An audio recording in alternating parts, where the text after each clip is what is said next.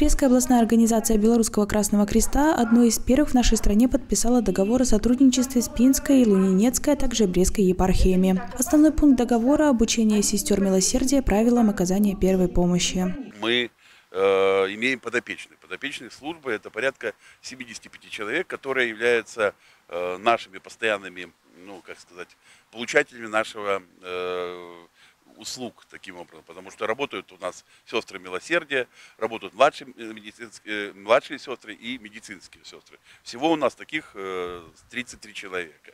В основном это ухаживаются за инвалидами первой группы, второй группы, людям, которым необходима как медицинская, так и социальная помощь, психосоциальная поддержка.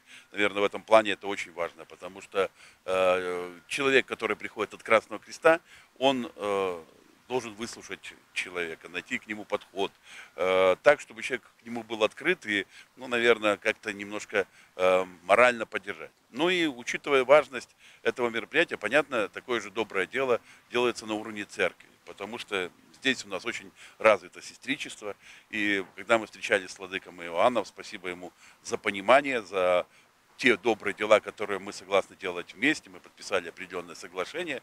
И в этом соглашении мы предложили такую как бы опцию, это обучить сестер э, милосердия нашим навыкам. Для сестер Милосердия храма Тихвинской иконы Божией Матери специалисты областного Красного Креста провели мастер-класс по оказанию первой помощи. Добровольцы изучили правила общения с пострадавшим, вспомнили все номера экстренной помощи, научились делать искусственное дыхание. А также познакомились с кинестетиксом, методом, основанным на анализе и восприятии собственных движений и движений человека с двигательными нарушениями. Этот подход позволяет сохранить или частично вернуть человеку собственные двигательные навыки. Мы подписали соглашение сестричеством для того, чтобы обучить их оказанием первой помощи и э, уходу за тяжелобольными на дому. Сегодня у нас первое занятие именно по первой помощи. А, в дальнейшем мы собираемся обучить их и уходу на дому. Может быть, что-то для них будет новое. А, особенно потому что это будет с элементами кинестетикс, которую еще почти никто не знает.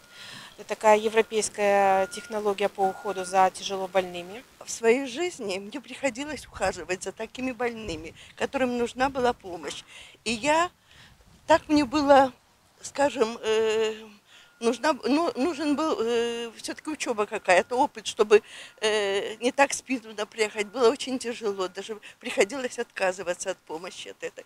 Поэтому, когда я услышала, что э, будет у нас такое обучение, хоть мне уже немало лет, скажем так, но мало ли что в жизни может случиться, я решила, что обязательно запишусь на эти курсы и обязательно вот научусь тому, как ухаживать. Вообще-то в жизни очень нужно для человека, чтобы каждый, и млад, и стар, знали, как сделать первую помощь, помочь человеку, вот оказать помощь. Поэтому я вот пришла сюда на эти курсы, чтобы побыть и узнать, и поучиться. Первая обучающая программа на базе прихода успешно стартовала, а значит, что сестры милосердия храма с удовольствием продолжат свое обучение. Так что в будущем проект будет только расширяться. Василина Буцкевич, Дмитрий Литвинюк, Юрий Лимонтович. Новости Бреста.